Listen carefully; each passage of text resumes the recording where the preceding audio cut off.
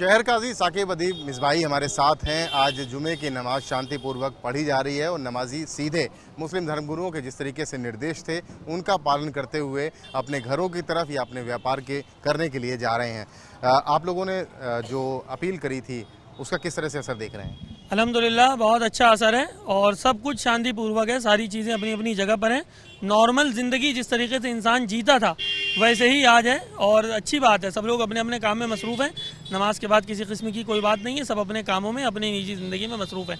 इन ताला ऐसे ही हमेशा मसरूफ़ रहेंगे और सारी चीज़ें स्टॉप हो चुकी हैं। अब ये हमेशा स्टॉप ही रहेगा। किसी तरीके की कोई बात या ऐसी कोई बात आपको पता अभी सामने आई आपके?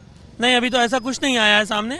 और सारी चीज़ें सारे वॉल्टियर्स अपने अपने काम में लगे हुए हैं। अगर कुछ वैसे अदरवाइज़ होना तो नहीं है ना होगा इनशाला अगर कहीं कुछ होता है तो वॉल्टियर्स के ज़रिए वो पता चल जाएगा। लोगों ने अपनी टीम भी इसके लिए मुस्तैद कर रखी थी। जी सारे कानपुर में जो है सारी टीमें मुस्तैद हैं।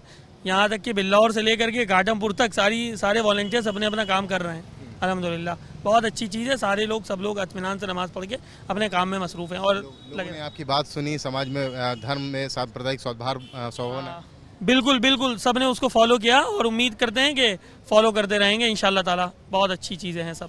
शहर गाजी और तमाम मुस्लिम धर्मगुरुओं ने अपील की थी धैर्य बनाए रखने की और ये कहा था कि आराम से जुमे की नमाज़ को ना सिर्फ़ अदा किया जाए, बल्कि उसके बाद घर जाने वाले लोग घर जाएँ और अपने कारोबार को करने वाले लोग कारोबार को रखें।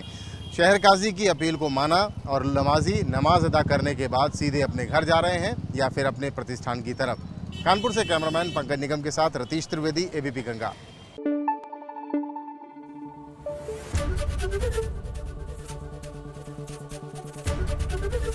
एबीपी गंगा, खबर आपकी जुबा आपकी।